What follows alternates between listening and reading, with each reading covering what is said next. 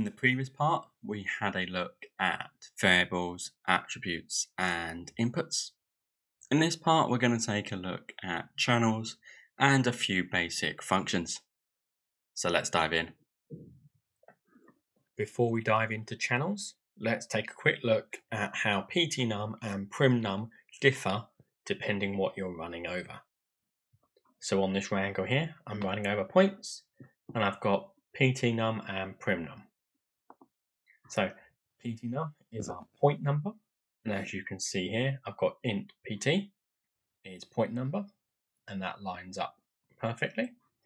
I've got primnum, which is our primitive number, and you can see here, it gives me that. What I've also done is I've created an array, which is all the prims that that point is connected to. And you can see here that when I use at primnum, it gives me just the first primitive that that point is connected to. So that's how primnum and ptnum work on points. Let's go ahead and take up primitives. So you can see here, uh, primnum lines up perfectly with our primitive number, and then ptnum gives us the first point per prim. So this array here is all of the points that that prim is connected to, and at ptnum gives us that first point. If we look at detail, you can see how it's negative 1 for both. And that's because details don't have point numbers or prim numbers. It's just running over the geometry as a whole. So it doesn't store these, which is why it gives us negative 1. And then finally, let's take a look at vertices. So you can see here, I've got primnum. And what that does is I've also used the function vertex prim and the function vertex prim gives us the primitive number that that vertex is attached to. And you can see that they're both identical, both the primitive and the vertex prim result. So we could use either at primnum or at vertex prim, and then using that function there. And the same for pt. You know, our pt num and vertex point gives us exactly the same result. So that's how ptnum and primnum vary depending what you're running over. So now let's take a look at channels. So let's create a new wrangle. And it doesn't matter what I'm running over, so I'm just going to run over points in this case. So we had a look at variable types and attribute types previously. So I'm just going to go ahead and run through each channel for those. So let's do integer first i at i1 and we create a channel. And we want a channel integer. So it's chi and this will give us an integer. And then here is what we call that channel. So i'm going to call this input int. And let's semicolon that. Then we're going to click on this little one here which creates the parameters.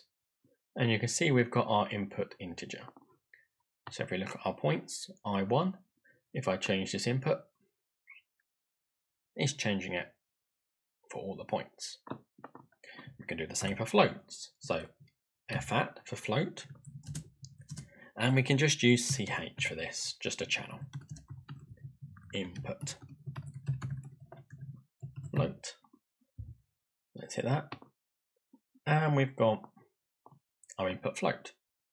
And you can see how that's working. For vectors, we use CHV for channel vector.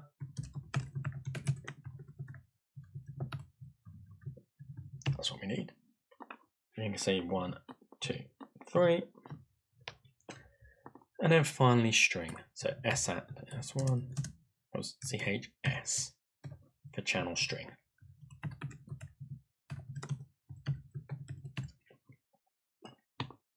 There we go, input string.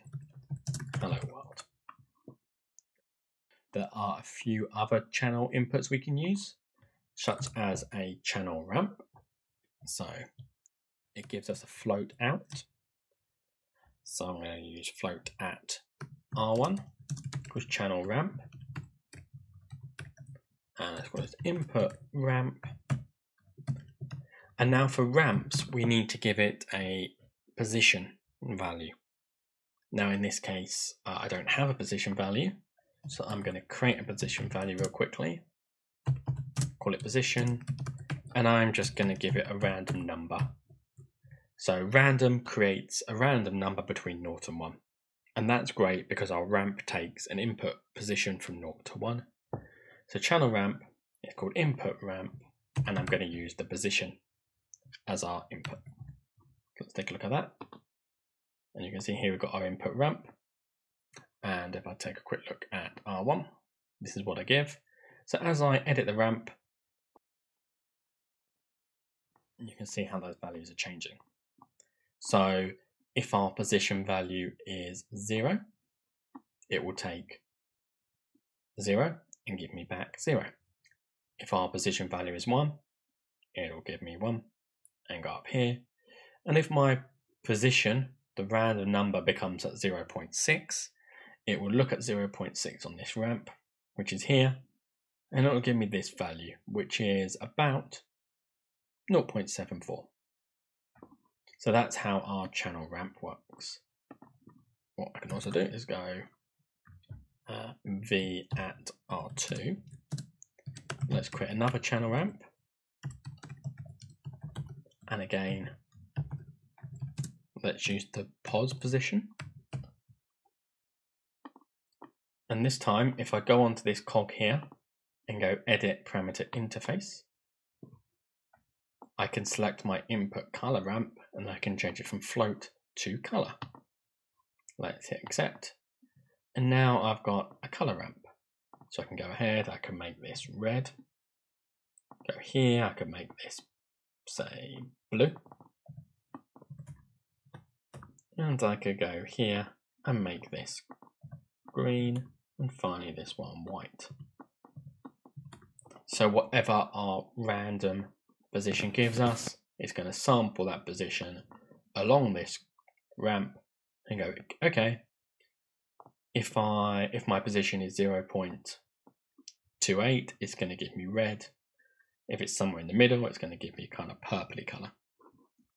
So that's how we can use these channels, uh, channel I for integer, ch for floats, ch v for vectors, ch s for strings, and then channel ramps to create attributes or variables. We can do it as a variable as well.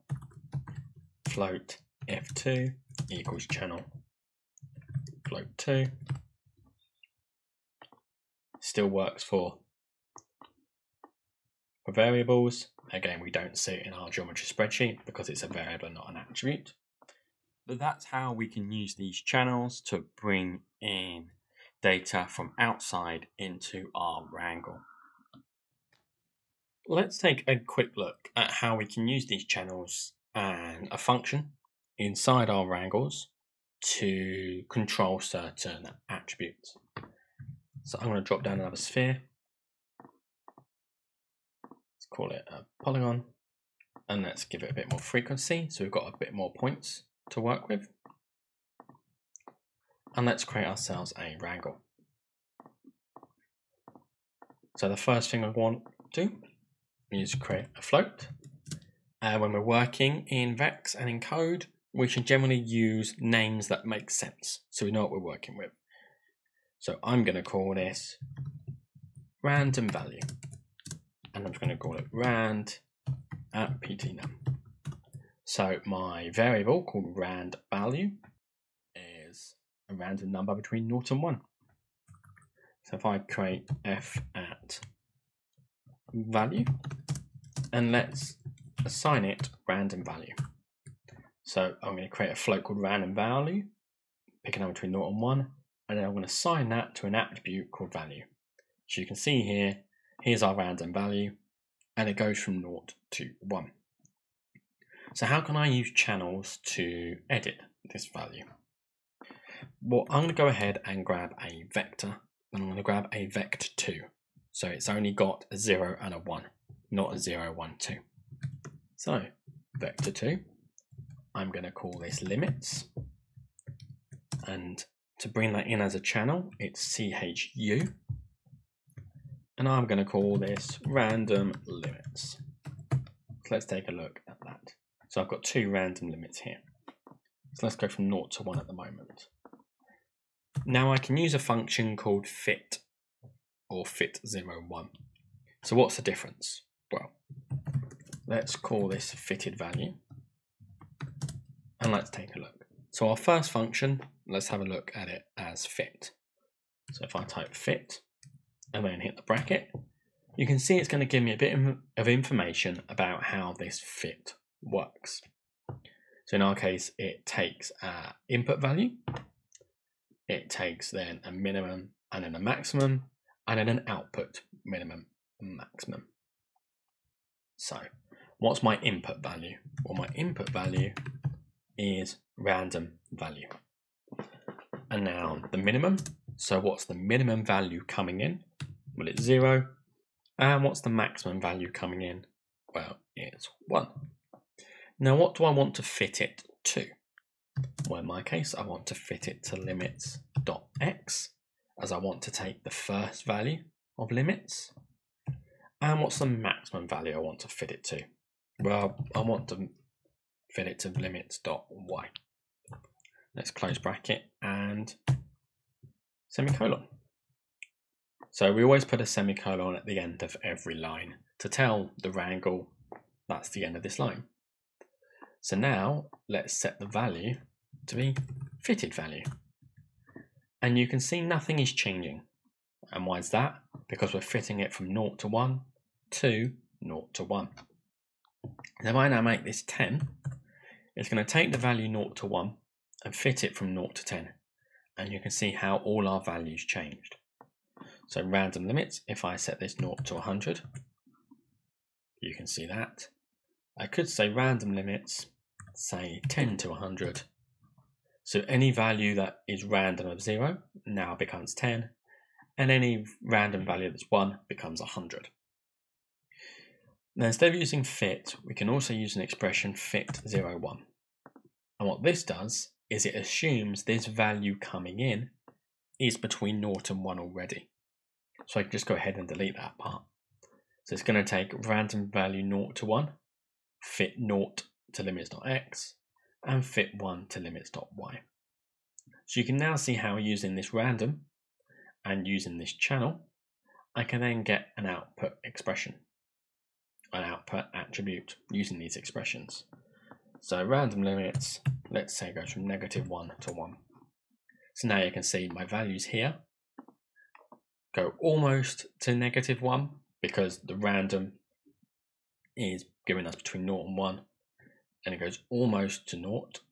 So if I create more points here, so we've got a lot more points, you can see how it goes still almost to negative 1 and then on the other end almost to 1.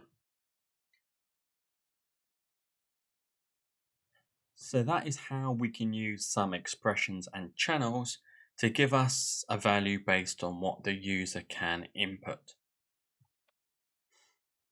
I hope you found that useful. We had a quick look at how ptnum and primnum changes depending what you're running over. Had a look at creating channels to read in data from outside of the wrangle and a few basic functions. Thank you so much for watching and until next time.